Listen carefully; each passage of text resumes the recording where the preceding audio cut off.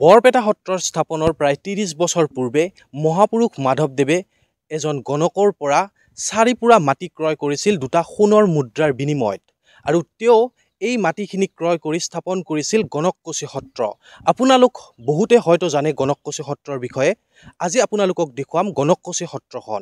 আৰু গণককুছি সত্ৰখনৰ বিষয়ে এই প্ৰতিবেদনত আপোনালোকক দেখুৱাম গণককুছি সত্ৰখন কেনেকুৱা আৰু গণককুছি সত্ৰখনৰ বিষয়ে বহু কথা আপোনালোকে এই প্ৰতিবেদনত জানিবলৈ পাব।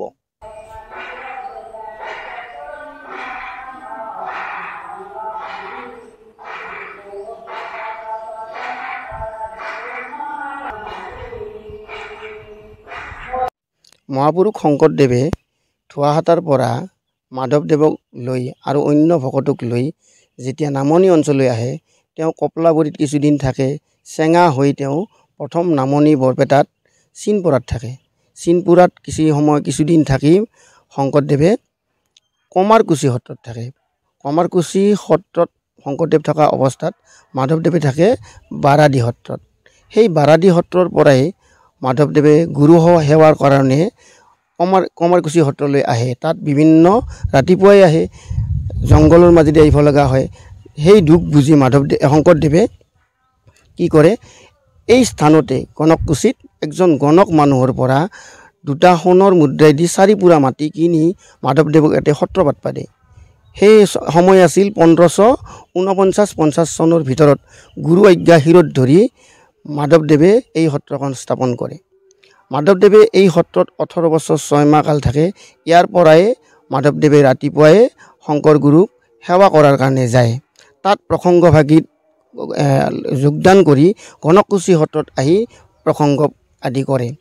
সেই সময়ত মাধৱদেৱৰ লগত অন্য ভকতৰ লগত ৰাম আতা চিৰা মাতৈ আদি গণককুছি সত্ৰত থাকে। মাধৱদেৱে ইয়াত থাকি নামঘোষা বিভিন্ন বৰগীত ভাওনা কীৰ্তন ঘোষা কিছু অংশ ইয়াত সাঁচিপাতত শংকৰদেৱে লেখা কালেকশ্যন কৰে আৰু জন্ম ৰহস্য এইবিলাক সাঁচি পাতৰ পুথি সংৰক্ষণ কৰি থয়। চাৰিটামান বৰগীত আছে ইয়াত মাধৱদেৱে ৰচিত ৰচিত নামঘোষাখন আছে আদি বিভিন্ন বস্তু ইয়াত সংৰক্ষিত কৰা এতিয়াও আছে। যি সময়ত শংকৰদেৱে কোচবিহাৰলৈ শেষৰ বাবে শেষবাৰৰ কাৰণে যায় সেই দিনা ৰাতি শংকৰদেৱে মাধৱদেৱৰ লগত এই সত্ৰতে শয়ন কৰে।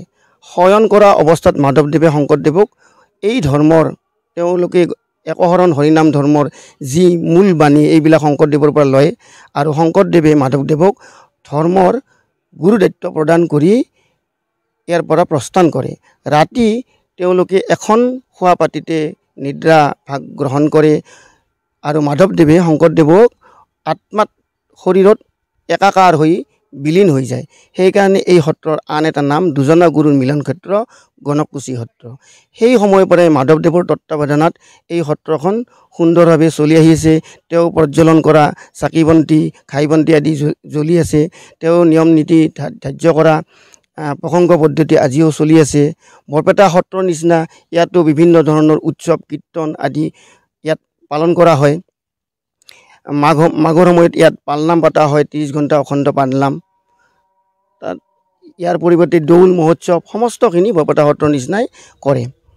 মাধৱদেৱে ইয়াৰ পাছত অন্য ভকতক এই এই সত্ৰৰ দায়িত্ব দি কোচবিহাৰলৈ তেওঁ গুচি যায়।